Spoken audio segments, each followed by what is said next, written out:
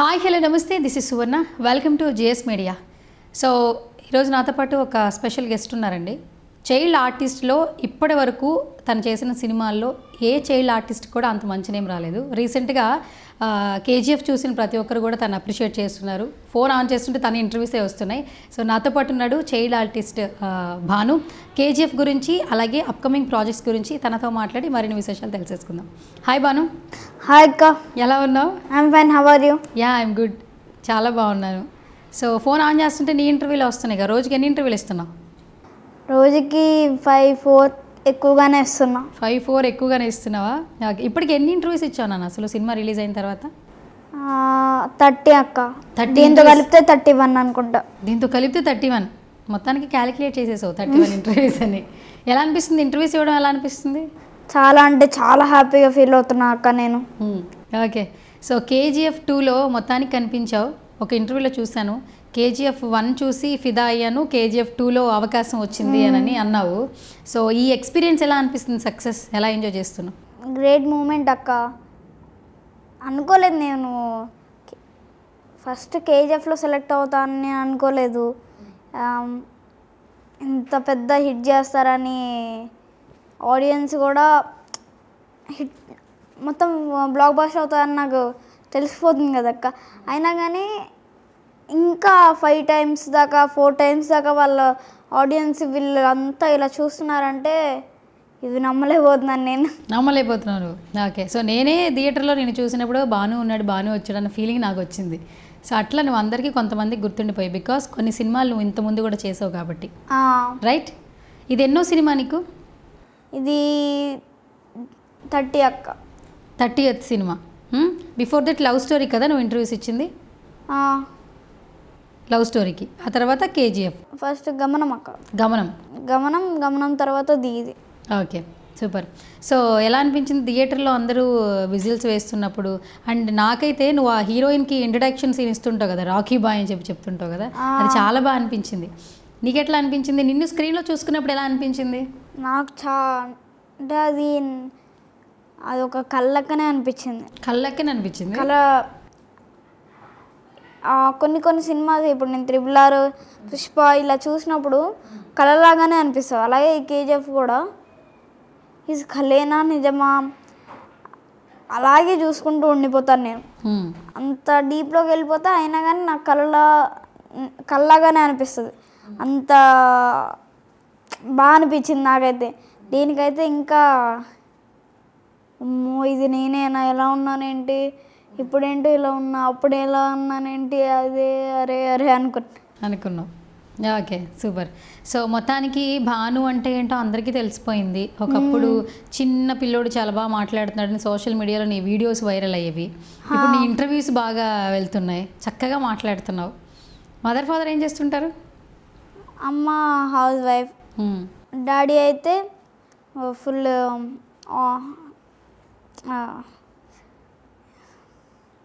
Direction department. Direction డిపార్ట్మెంట్లో work చేస్తుంటారు. Okay. So అసలు అంటే మీది ప్రాపర్ హైదరాబాదేనా లేదంటే ఇంకెక్కడనా ప్రాపర్ తిరుపతి అక్క. నేటివ్ ప్లేస్ వచ్చేసరికి తిరుపతి. తిరుపతి. ఇక్కడ హైదరాబాద్కి వచ్చి కొన్ని సంవత్సరాలు అవుతుందా? ఓకే. ఇప్పుడు ఏం క్లాస్ చదువుతున్నావు నువ్వు? థర్డ్ క్లాస్ అక్క. Third class. స్టడీస్ ఎలా మేనేజ్ చేస్తున్నావు? మరి సినిమాలు కంటిన్యూషన్ నువ్వే కనపడుతున్నావు. ఆరు నెలలకు ఒక సినిమా చేస్తున్నావు. మరి స్టడీస్ పరిస్థితి ఏంటి? ఆన్లైన్ క్లాసెస్ అంటావా? ఓకే. ఎలా మేనేజ్ చేస్తున్నావు? మేనేజ్ చేసేది ఉంటుంది అక్క ఫుల్ ఆన్లైన్ క్లాసెస్ కాబట్టి ఎప్పుడు ఖాళీ ఉంటే అప్పుడు చదువుకోవచ్చు అందుకని. ఎప్పుడు ఖాళీ ఉంటే అప్పుడు చదువుకోవచ్చా? సూపర్ రా. చదువుకు టైం ఇచ్చావు అనమాట అయితే నువ్వు. ఎప్పుడు ఖాళీ ఉంటే అప్పుడు చదువుకుంటావా? మ్మ్. ఓకే. స్టడీస్ అట్లా అయిపోతుంది. ఆడుకోవడానికి టైం ఉంటుందా నీకు? మ్మ్. ఆడుకోవడానికి కూడా టైం ఉంటుంది. అంటే షూటింగ్స్ లేని టైంలో అప్పుడు ఆడుకోనికి టైం ఉంటుంది. ఏది బాగా ఆడతావు నువ్వు? ఏ గేమ్స్ బాగా ఆడతావు? నా ఫ్రెండ్స్తో ఆడుకుంటా. Cricket ఆడతావా? Kho kho. Hand touch. Wall touch అన్నీ అలా. ఓకే. ఇప్పుడు సినిమాలు పెద్ద సినిమాలు చేస్తున్నావు కదా నీ ఫ్రెండ్స్ ఫీలింగ్ ఏంటి నువ్వు ఆడుకునేటప్పుడు వాళ్ళతో మాట్లాడేటప్పుడు? వాళ్ళు ఎలా మాట్లాడతారు నీతో? నువ్వు ఎలా చేసావురా బా నువ్వు భయం అనిపించలేదని అడగరా? అలాంటి క్వశ్చన్స్ అడగరా? అదే అడుగుతారు ఎక్కువ. మను మేమే ఇట్లా డైలాగ్ చెప్పిన ఫీల్ అవుతాం. అట్లాంటి నువ్వు అలా చెప్పినావు కేజీఎఫ్ చూసినప్పుడు కూడా మొన్న ఇలా అన్నారు. ఏ నేను నేను చూశాను. అవును అలా ఎలా చెప్పావు? అసలు హీరోయిన్ ముందంటే నేను చూడంగానే అమ్మో ఎలా చెప్తాను ఎలా చెప్తాను అని భయం వేస్తుంది. నీకు భయం అనిపించలేదా అంటే ఎవరికైనా అనిపిస్తుంది. నీకనే కాదు నాకు కూడా అనిపించింది. మళ్ళీ టెన్షన్ ఫీల్ చిన్నగా ఫీల్ అయ్యి చిన్నగా వదిలేసానంటే అవునా? నాకు కూడా నేర్పించవా? నేను కూడా వచ్చేస్తాను. నన్ను కూడా తీసుకెళ్ళవా? మీ డాడీకి కూడా చెప్పే అని చెప్తున్నాయి మ్మ్. "ఆ, ఓకే డన్ డన్ అని చెప్పాను. ఓకే. వేరే వాళ్ళు ఆర్టిస్టులు అవుతానా కూడా ఎంకరేజ్ చేస్తున్నావు అయితే. డన్ డన్ డన్ అని చెప్పావా? సినిమా అయితే మొత్తానికి మంచి సక్సెస్ అయింది. సినిమా ఎండింగ్లో ప్రశాంత్ నీర్ గారు చాప్టర్ త్రీ ఉంటుంది అని అయితే ఒక చిన్న పాజ్ ఇచ్చారు మాకు. చాప్టర్ త్రీలో నువ్వు కూడా ఉంటావు ఎక్స్పెక్ట్ చేయొచ్చా? అది చెప్పలేము అక్కడ డైరెక్టర్ గారు రాసుకున్నారు. నా క్యారెక్టర్ని రాసుకుంటే లక్ బై ఛాన్స్ ఉండొచ్చు. బై ఛాన్స్ ఉండొచ్చు. ఓకే ఉంటే ఇంకా happy okay first day first show ఎక్కడ చూసావు నువ్వు? ఫస్ట్ డే ఫస్ట్ షో ఎక్కడ చూసానో గుర్తులేదు. ఫస్ట్ డే ఫస్ట్ షో అయితే చూసావు జనాల ఆ మధ్యలో? సెకండ్ షో చూసా. సెకండ్ షో చూసావు. ఓకే జనాల మధ్యలో అరుపులు గోలలు కేకలు. నేను నువ్వు చూసుకున్నావు కనపడ్డావు అసలు నువ్వు స్క్రీన్లో మ్మ్, చూసుకుని అది కనపడలేదు నేను నా ఫేస్ వచ్చినప్పుడు ఇలా పేపర్లు ఇసిరేయడం అదేం కనిపించలేదు నాకైతే.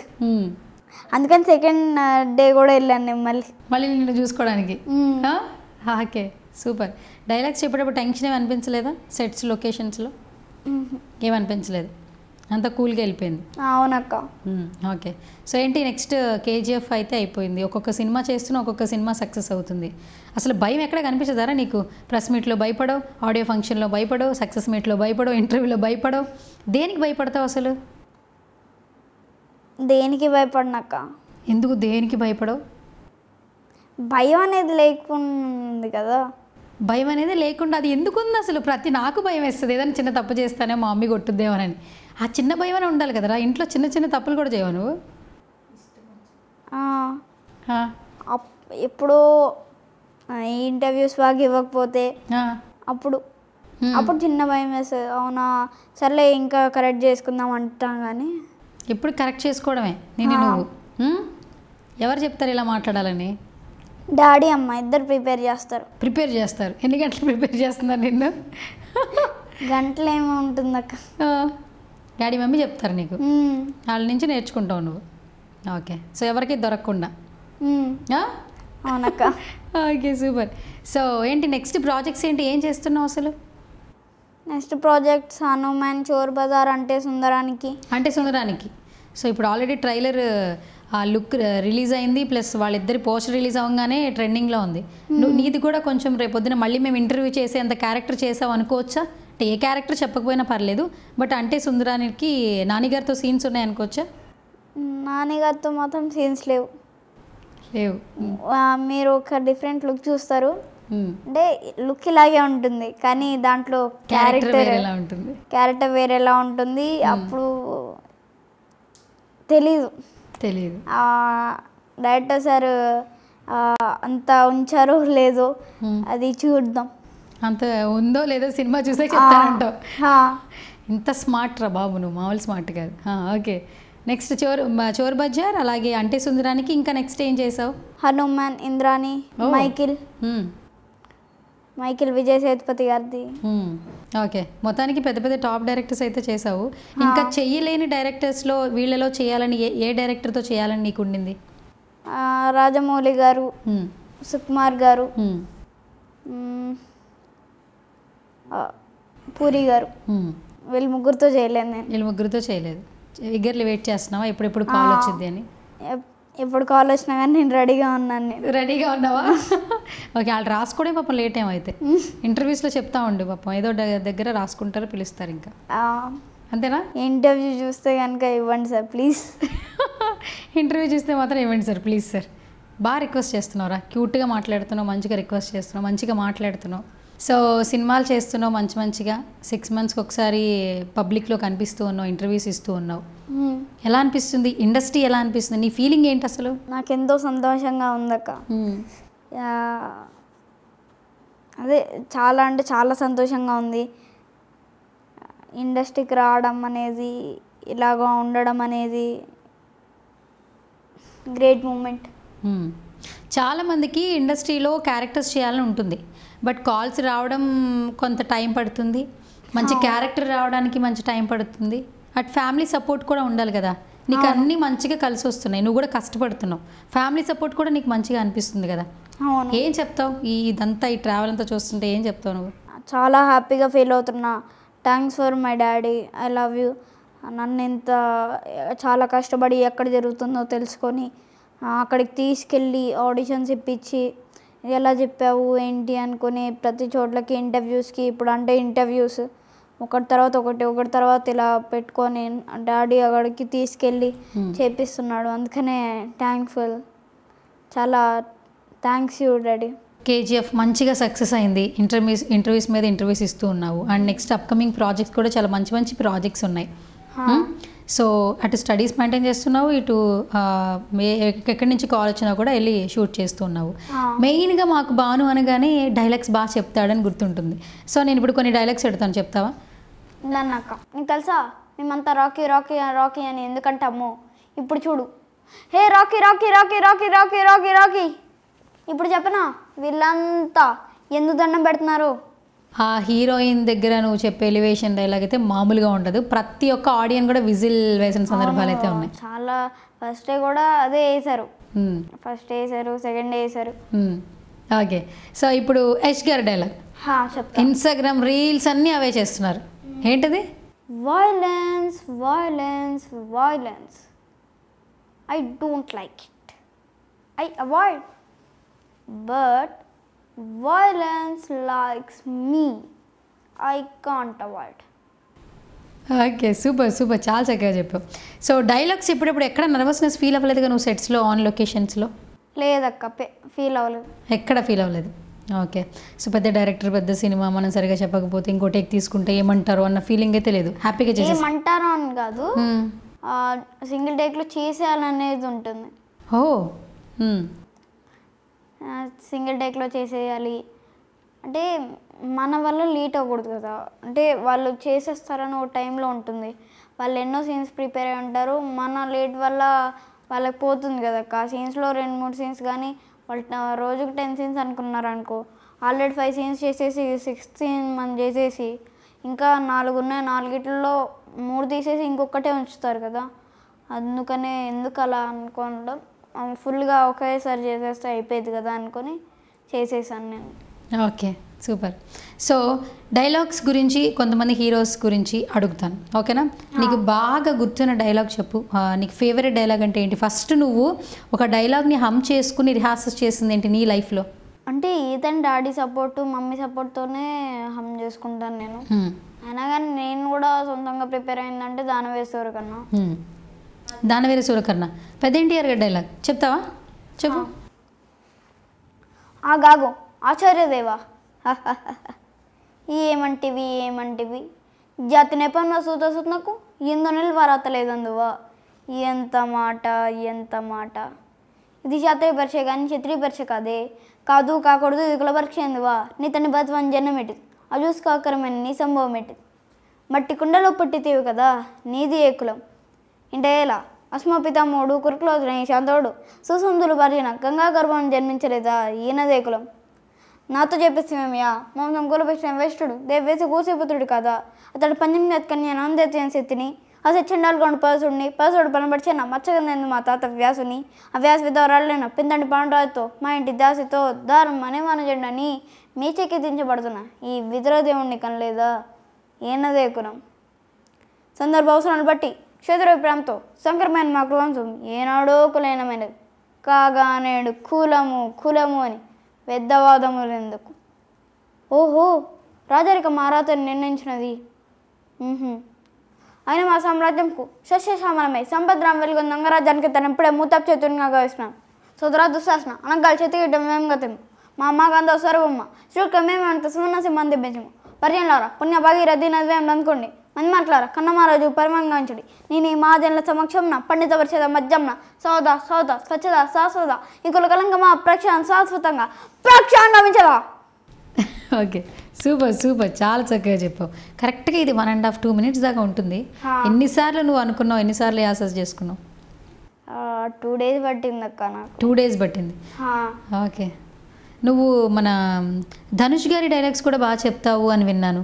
ఈ రఘువరన్ బీటెక్లో అప్పట్లో బాగా రిహార్సల్స్ చేసి ఏదో ఒకసారి చెప్పు డైలాగ్ అమ్ములు బేబీ ఇంతవరకు రఘువర్ని విలన్గానే చూసావు.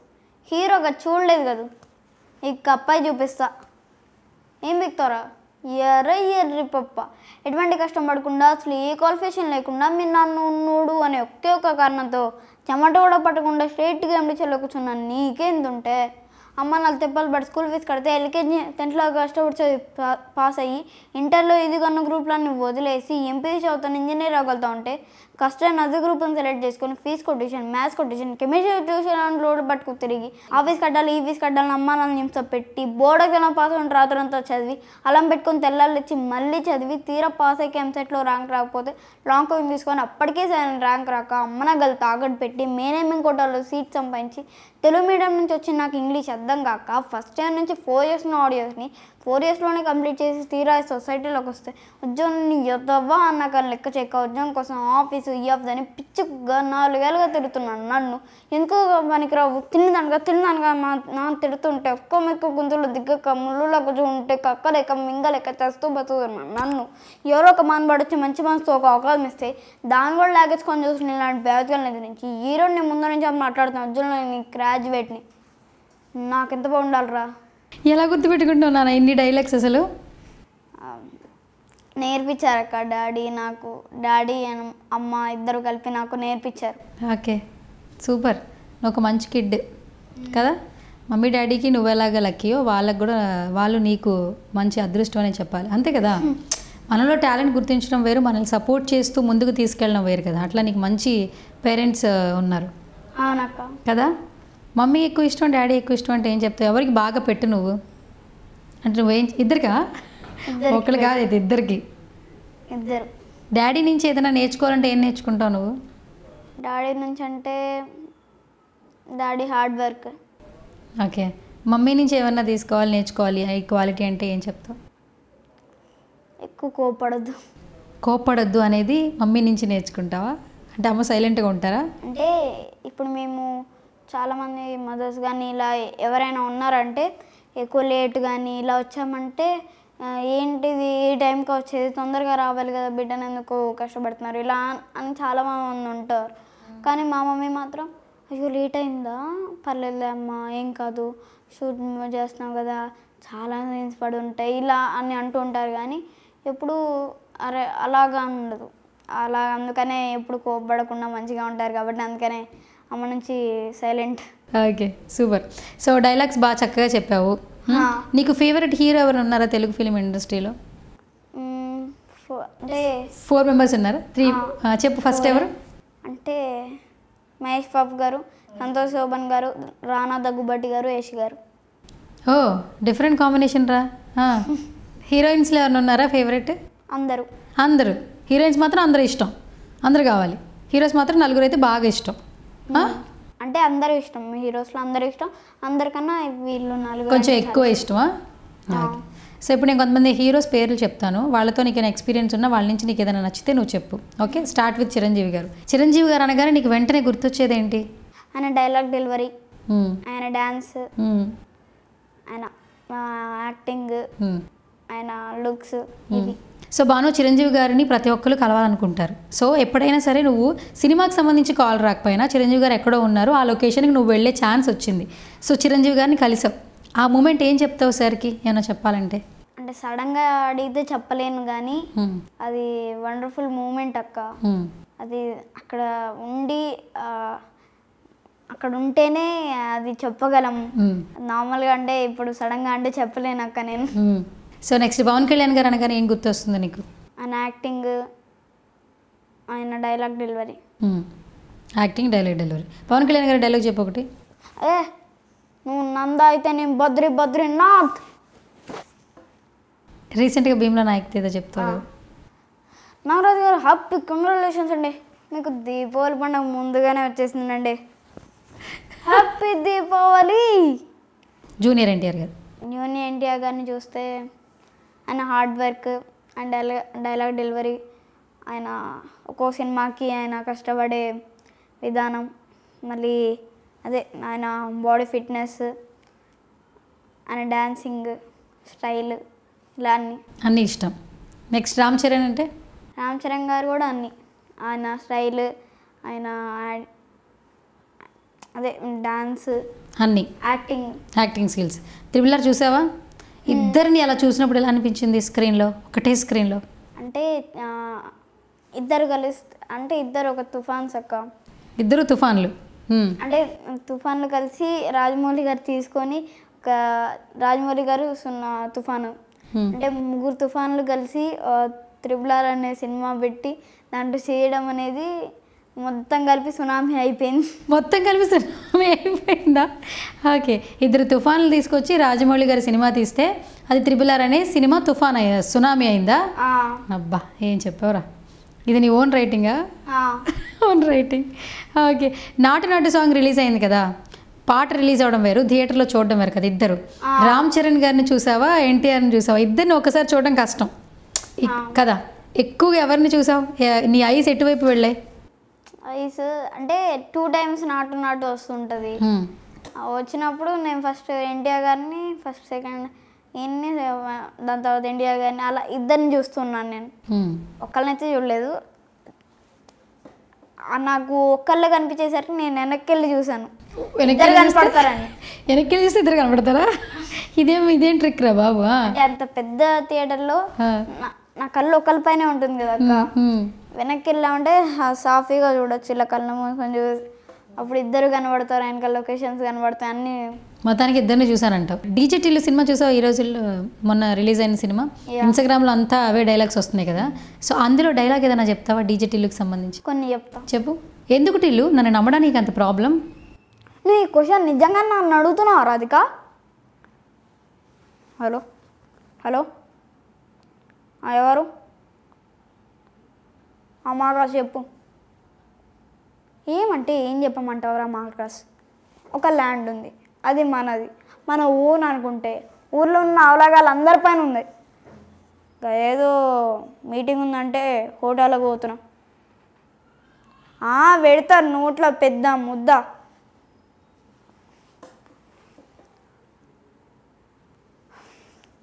బయట సీసీటీవీ ఫుటేజ్ని పెట్టుకొని లోపల ఒక శవాన్ని పెట్టుకొని నువ్వు నన్ను పిలిస్తే నీ మొహానికి పొడ కొట్టుకొని వచ్చేసిన చూడు. అట్లుంటుంది మనతోని. పోలీస్ పట్టుకుండు. ట్వంటీ స్పీడ్లు వచ్చిన. ఫైన్ ఐదు వందలు. నేను వెయ్యి ఇచ్చిన. ఎందుకో తెలుసా? వెళ్ళేటప్పుడు కూడా గట్టే స్పీడ్లు వెళ్తా అని. అట్లుంటుంది మనతోని.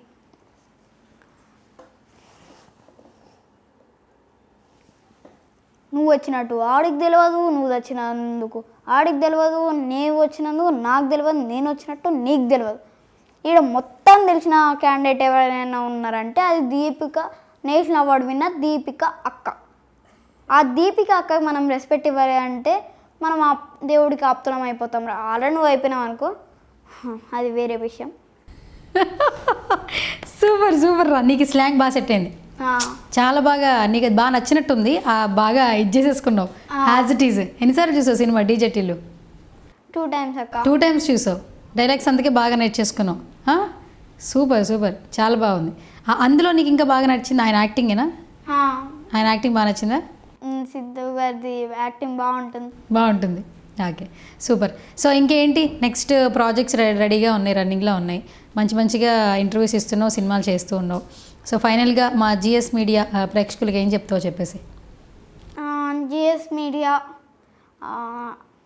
అది కొత్త కంటెంట్ వీళ్ళందరినీ సినిమా ఫీల్డ్నే కాకుండా చాలా అందరినీ తీసుకొచ్చి మీకు పరిచయం చేస్తారు. లేకపోతే అన్ని న్యూస్ కానీ ఇలా అన్నీ ఇస్తారు. జేఎస్ మీడియాకి లైక్ చేసి షేర్ చేసి కామెంట్ చేసి ఇప్పుడు ఈ వీడియోని కూడా కామెంట్ చేయండి. అలాగే లైక్ చేయండి షేర్ చేయండి కామెంట్ చేయండి సబ్స్క్రైబ్ కూడా చేసుకోండి. నా సినిమాలు కూడా చూడండి. ఇప్పుడు కేజీఎఫ్ని ఎంతగానో హిట్ చేశారు. అదే హోప్తో అదే హోప్తో మళ్ళీ మిమ్మల్ని అడుగుతున్నా. సెకండ్ మళ్ళీ నా హనుమాన్ చోర్ బజార్ అంటే సుందరానికి ఇంద్రాని మైకి లెవెల్ లాంటివన్నీ చాలా ఉన్నాయి. ఇలాంటి సినిమాస్ కూడా మీరు ఆదరించి మంచి హిట్ చేస్తారని అలాగే నన్ను కూడా ఎక్కువగా గుర్తిస్తారని నేను మనస్ఫూర్తిగా కోరుకుంటున్నాను. Thank you so much Bhanu నిజంగా నువ్వు టాలెంటెడ్ పర్సన్ చాలా చక్కగా ప్రతి ఒక్కటి మాటలు చాలా బాగా మాట్లాడుతున్నావు. అట్లాగే డైలాగ్స్ కూడా ఎక్కడా మిస్ అవ్వట్లేదు. అంటే నీకు సినిమా మీద ఉన్నటువంటి ఇంట్రెస్ట్ కనిపిస్తోంది. అప్కమింగ్ కూడా నువ్వు మంచి మంచి సినిమాలు చేయాలని నేను కూడా మనస్ఫూర్తిగా కోరుకుంటున్నాను. Thank you so much for coming once again all the very best for future projects also Bhanu thank you thank you so much yes చూసేశారు కదా మన చిచ్చర పిడుగు బాను. బుడ్డి బుడ్డి మాటలు. చాలా క్యూట్గా చాలా మెచ్యూర్డ్గా. ఇంత చిన్న ఏజ్లో ఇంత బాగా మాట్లాడడం అయితే చాలా కష్టం. బట్ తను అటు సినిమాలు ఇటు తన స్టడీస్ కూడా మెయింటైన్ చేస్తూ తన యొక్క యాక్టింగ్ మీద ఉన్నటువంటి ఇంట్రెస్ట్ చూపిస్తూ ఉన్నాడు. సో ఇది వాటి special chit chat. State in to GS media. This is Suvarna signing off. Bye.